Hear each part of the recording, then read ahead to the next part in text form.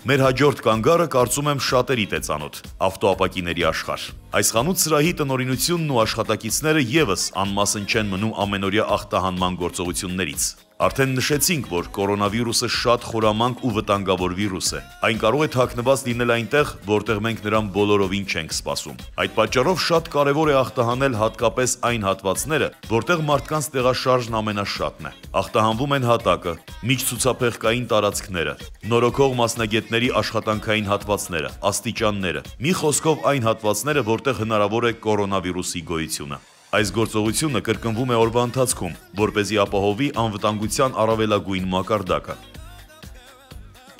Իսկ ուր են տանում այս աստիճանները։ Սա հանրահայտ 4 անգամ 4 MD Tuning ընկերությունն է, որտեղ իր երկրորդ ծնունդն է ստացել Դրակոնը։ Մեր հաղորդաշարի թողարկումներում բազմիցս անդրադարձել ենք նրան, բայց երբեք առիթ չի եղել տեսնել միջավայրը, որտեղ կատարվում են Դրակոնի կատարելագործման ու նորոգման աշխատանքները։ Կարծում եմ դա կհետաքրքրի մեր հերոստադիտողին, հատկապես օֆ-ռոդի սիրահարներին։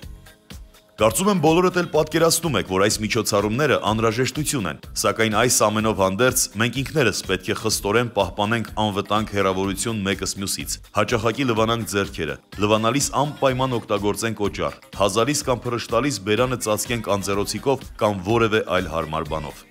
Առողջություն բոլորիդ։